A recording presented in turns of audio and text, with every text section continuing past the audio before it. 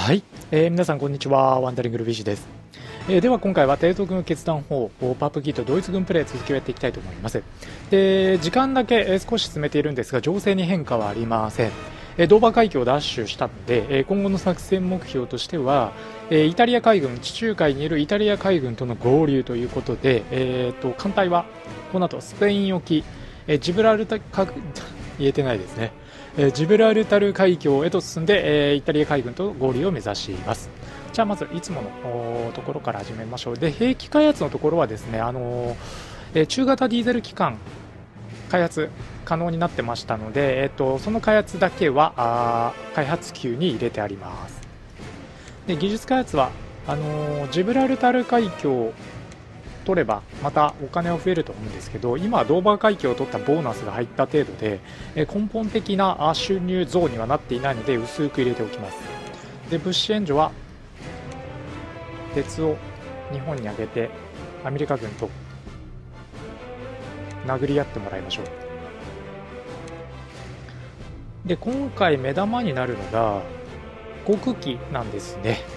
で航空機の生産やっていくんですけど、えっと、まずはですね、えー、なんといってもバカラ爆撃。これがあ完成しました。でスペックはご覧の通りで最高速度320とかなり低速なんですが1000キロの爆弾を持っていて急降下爆撃が可能。かつ航続距離が4000キロっていうね、えー、本当に低速だけど長距離の重爆撃機としてこのバカラ爆撃。これをですね、えっ、ー、と、そうだな、200機ぐらいは作っておきたいよね。で、えー、そのバカラ爆撃の護衛機が、このバカラ護衛です。で、それ以外に戦闘機、えー、艦上の戦闘機ですね。メーサ・シュミット、どっちがいいかなって考えると、まあ、当然、BF H09G の方が G タイプ T タイプってあるうちの、まあ、どれを作っていくかだね。109は E F G T とあるんですがそれぞれ航続距離とかいろいろ問題がまああの良し悪しがあるんでうーんまあただ G はあと1週間かかるわけでしょ。じゃあ T タイプを一旦作っておきましょう環状戦闘機。数は25しか作れないか。これで、どっちがなくなったの？先に。いや、生産能力がいっぱいになっただけですね。まだだから余裕はあるという状況で、えー、ではドーバー海峡にいる、虎の子の、この、空母に艦載機を積んでいきましょう。いやー、圧巻だな。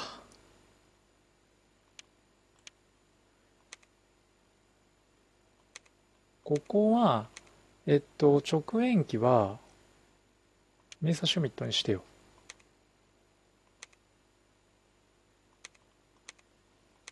で、代わりに爆撃機の数を増やしましょうと。どうだ？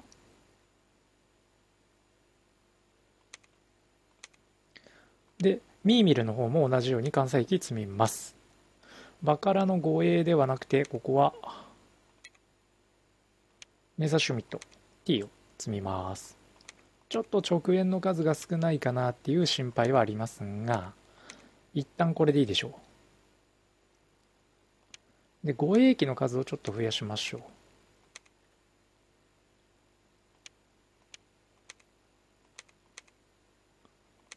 これでこの空母艦隊だいぶ厚みが出たんじゃないかな。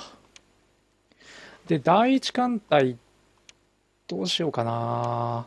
まあ、少なくてもあのちょっと艦隊のバランシングという意味では第1艦隊第2艦隊第4艦隊とあるんですけどこれ一旦再編しますか。第1艦隊はまあ砲撃メインの艦隊として再編しちゃいましょう。なので、まあ、10巡いやでも10巡2隻ぐらいは残しとかないとな。打ち合いになった時話にならないんで、えー、一旦これぐらいにしときますか。で第4艦隊だね問題は。第4艦隊が、まあ、空母艦隊なんでまあ、ちょっとね、砲撃戦は絶対に避けて通らなきゃいけないんですが、とはいえ、砲撃戦になることも想定しておかなきゃいけないので、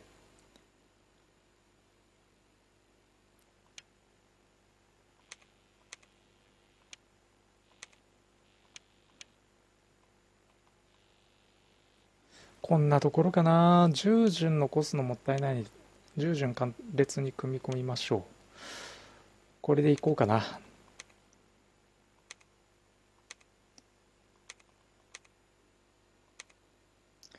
で第1第2艦隊がちょっと弱くなりましたが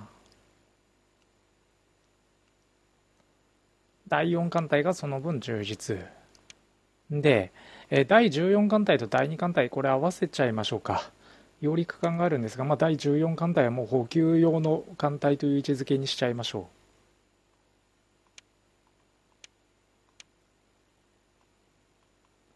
まあ、穴が開いたらそこに艦隊を補充するイメージですね。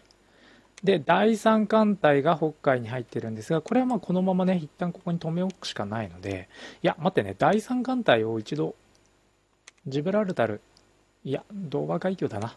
ドーバー海峡に入れて艦隊の再編を行いましょう。で、えっと、今回分かったのが、空母のを随伴するものが、えー、ちょっと弱いかなと思ったので、随伴艦ですね。えー、軽巡タイプの随伴艦を1個設計しましょう。で、えー、基本的な装備としては、あの手法はもう積まない。まあ防空間ですねもう完全なる。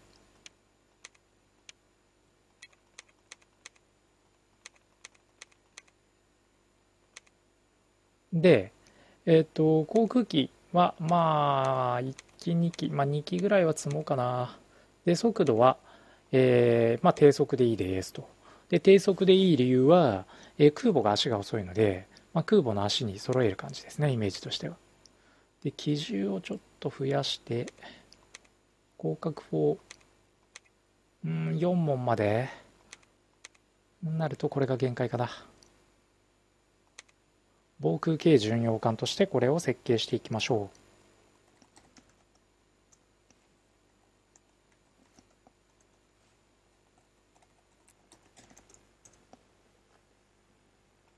これが2週間でできますね。で、それとは別に、あのー、戦艦、作っていきましょう。ビスマルク型の戦艦。これを、えー、思い切って2隻発注しよう。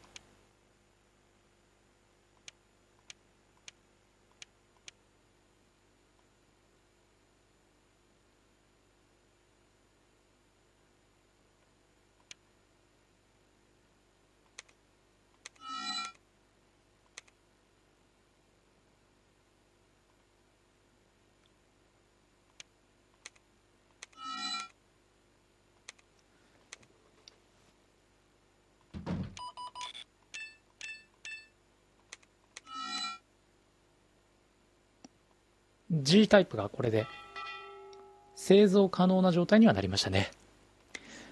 では、また、あのー、技術開発から入れていきましょう。今回ね、新しい新兵器の開発情報が入っていないので、ここは放置して、えっ、ー、と、日本軍全然鉄ないんだね。鉄をじゃあできるだけ供与してあげて、それによって国力をつけてもらいましょう。軍事力かな。では、今回も航空機の生産を行っておきます。で、えっと、メーサーシュミットの G タイプ、これがちょっと数としてあまりないので、100機前後。さらに爆撃機ですね。これを50機。さらに護衛機を11機作ります。これでどうなった？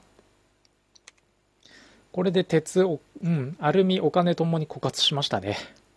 じゃあ今回はドーバ海峡から艦隊を出しましょう。で、えっと、前回第3艦隊をね、えー、ちょっと再演した、あしようかという話したと思うので、第14艦隊だっけ？あのー、組み込んだものを戻しましょう。駆逐艦をね。あとは、揚陸艦も戻してこれで第3艦隊がまあ多少なりとも戦える艦隊になったんじゃないかな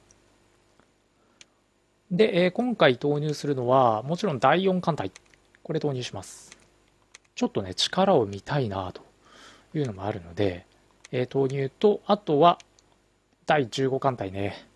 これ潜水艦隊。しかも今まで結構活躍してくれてる第15艦隊。これを投入していきましょう。敵の艦隊がいるかどうかですねあとは。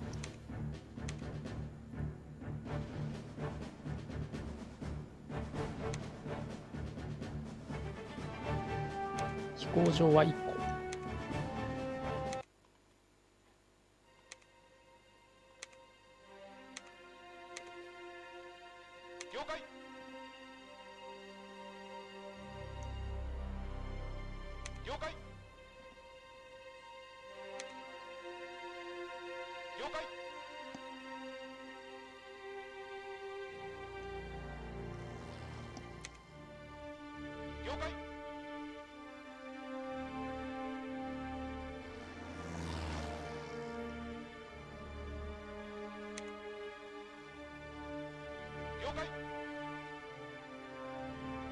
さあ早速アウド村ミーミルから、まあ、空母から、えー、爆撃機を敵基地に対して飛ばしていきます。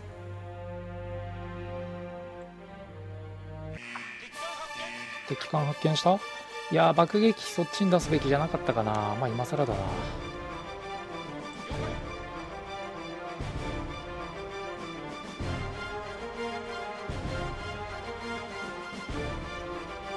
第2艦隊は？退避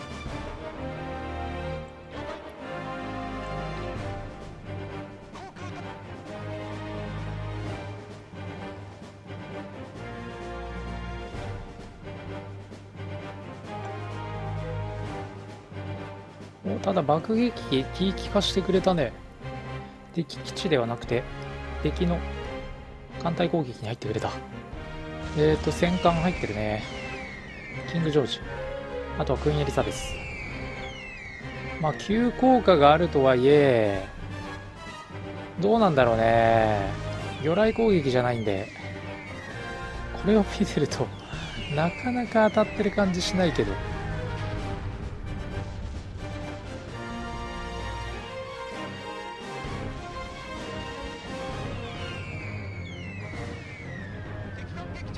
まあ、でもやっぱ1000キロ爆弾、1トン爆弾積んでるんで、足の遅い従順とか、あとは関列が崩れて足の遅くなった艦隊には、それなりに当たるっちゃ当たりますね。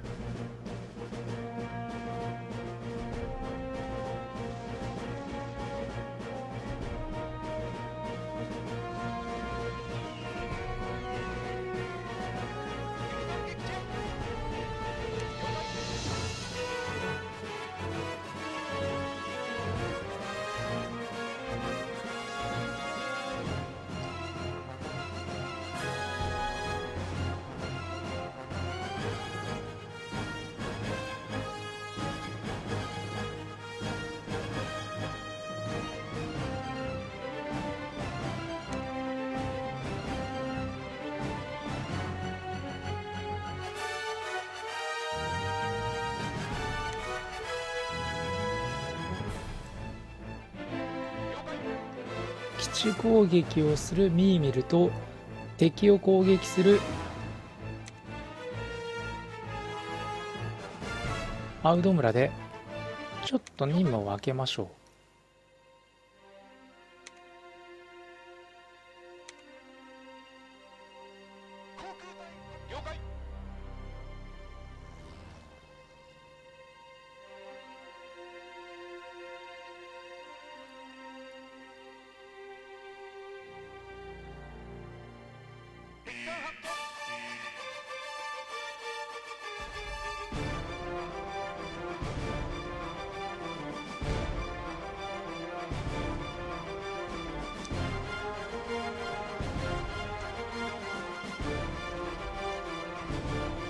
まず敵基地の砲台を無力化しておきたいですよね。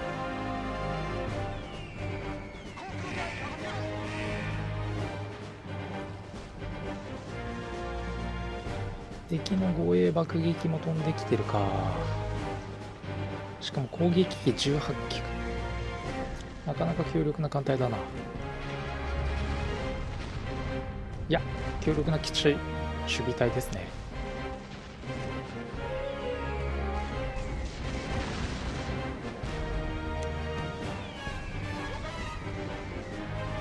ちょっと10巡洋艦10戦、うん、巡洋戦艦のスピードを生かすために一旦速度を上げていきましょう。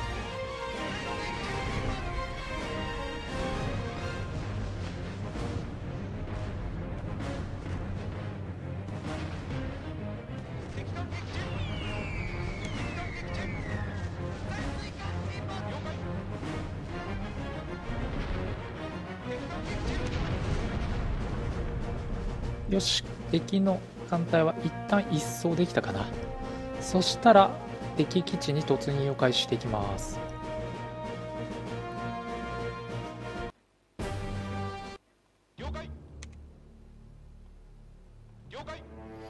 でもう敵の基地はえっと砲台は無力化しているのでえこのまま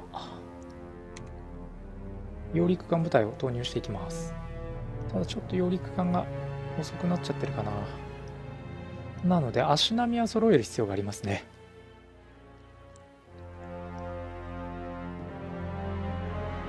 いや空母がいると本当に操作が楽ですね。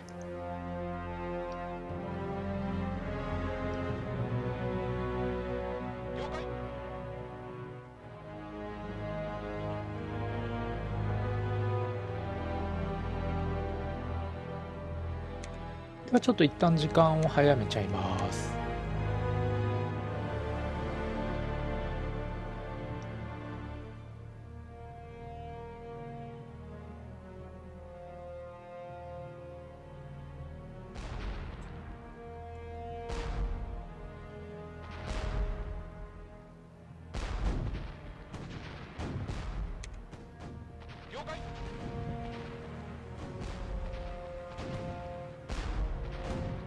ちょっと待ってそれ以上攻撃しないで。やっちゃったな。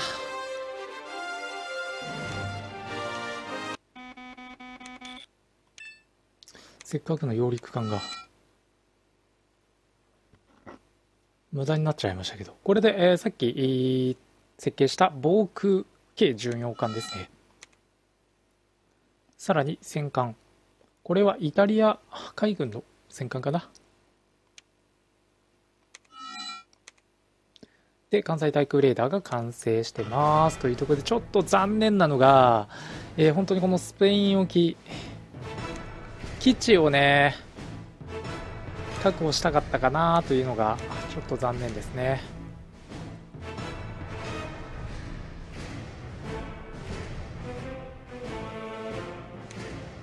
まあ、基地1個も作らないというのはちょっと危険すぎるので、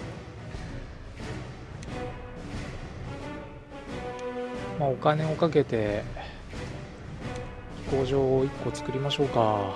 3000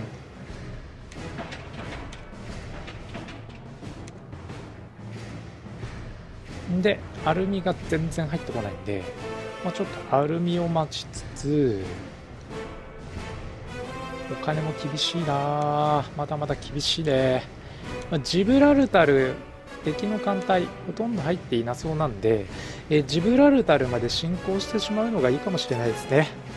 で、えー、ジブラルタルで、まあ、イタリア海軍との合流を果たすというのがあの一つの目標になるかなと思います、えー、ではあ今回は一旦ここまでにさせていただいて、えー、次回またこの続きをプレイしていきたいと思います。はいというわけで、えー、最後までご視聴ありがとうございました。ぜひチャンネルの登録、あとはですね、Twitter の方で動画の収録状況と、あとは配信状況、まあ、その他もろもろ情報を発信しておりますので、え興味のある方はぜひ Twitter の方もフォローしていただければあ嬉しいなというふうに思います。